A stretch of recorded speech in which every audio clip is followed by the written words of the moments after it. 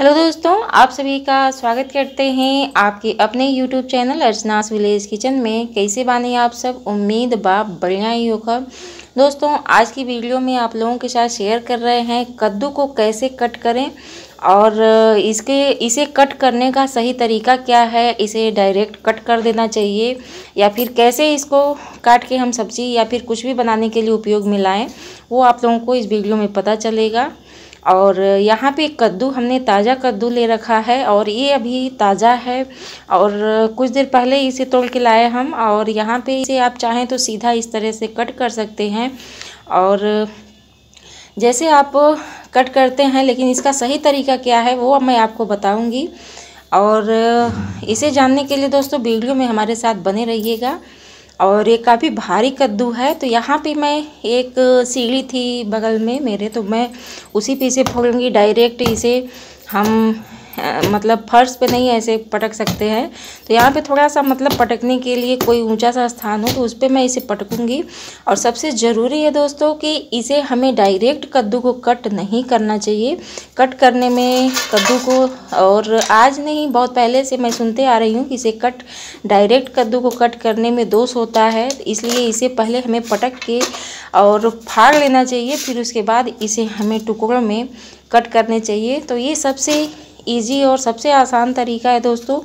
और कि कद्दू को बिना कट किए सबसे पहले आप इसे फोड़ के, फिर उसके बाद आप इसे उपयोग में लाइए और अपनी इच्छा अनुसार पीसों में कट कीजिए।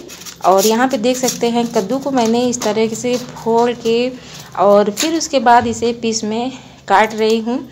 और सबसे आसान और इजी तरीका भी है दोस्तों, क्योंकि कट करने में और बड़ा कद्दू, छोटा कद्दू जैसा भी होता है, अगर आप उसे पहले कट करेंगे, कितना भी आपका बड़ा चाकू हो या फिर कुछ हो तो मतलब मुश्किल तो होती ही है, लेकिन इस मुश्किल का हल बहुत बढ़िया है कि आप इस तरीके से भी करें और सही तरीका भी है कि कद्दू को बिना पटके आपको कट नहीं करना चाहिए।